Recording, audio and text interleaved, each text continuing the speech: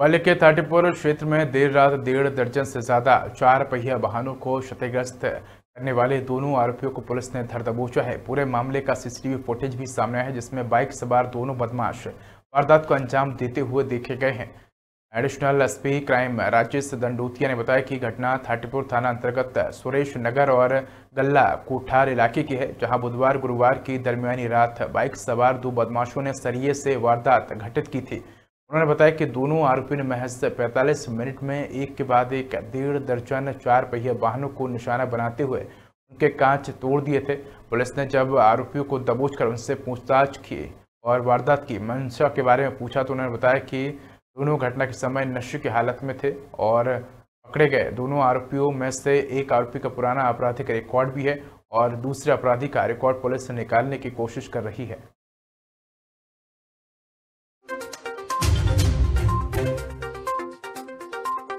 ये था साढ़ी क्षेत्र के अंतर्गत तीन वर्ष पहले कुछ गाड़ियों में तोड़फोड़ हुई थी, दुर्घटना सीसीटीवी में कैद हो गई थी।